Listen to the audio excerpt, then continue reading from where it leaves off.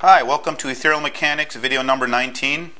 This is a history lesson in the luminiferous ether, A ether, that's the old way, as opposed to the way I have adopted for the new ether, which is ether, to distinguish the two different models.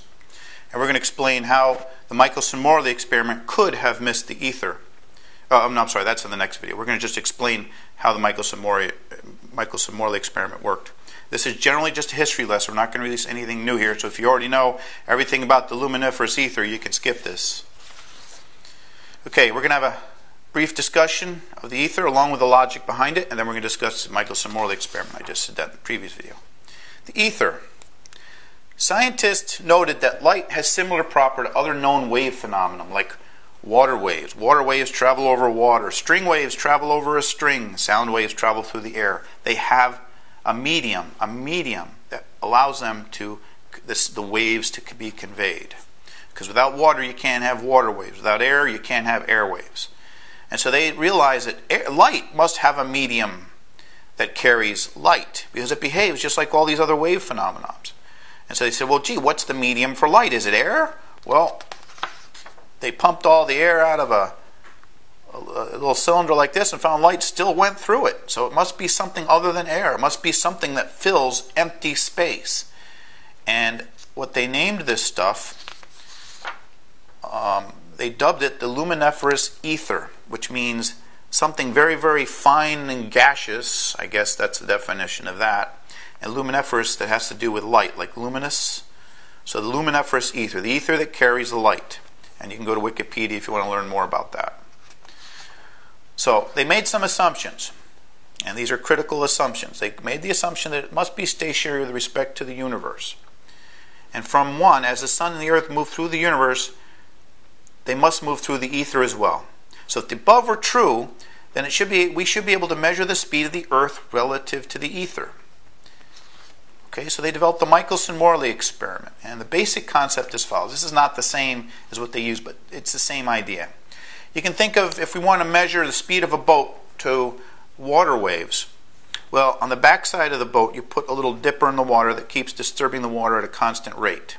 At the front of the boat, you have a little thing that detects when the light, when the uh, the water waves travel and finally reach that point, and then you can measure the time it takes.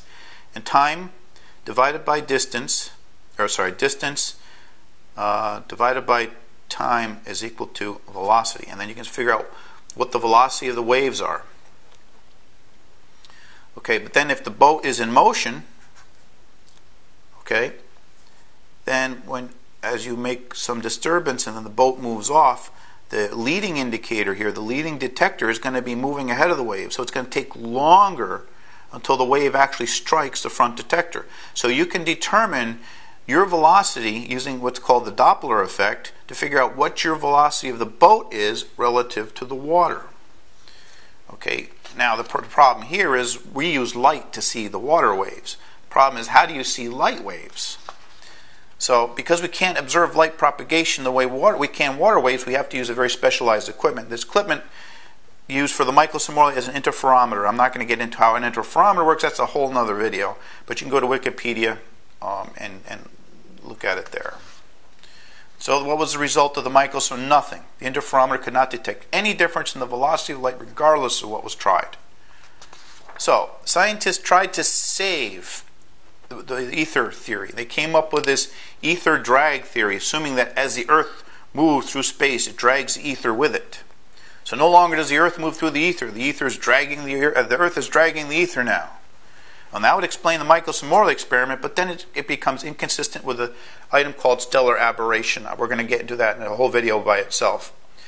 Um, so there's many desperate attempts to save the ether. Finally, the Lorentz transformation saved the ether by killing it, by basically saying that things must contract along their length as they move, which means that no matter what you do, you can't measure the ether.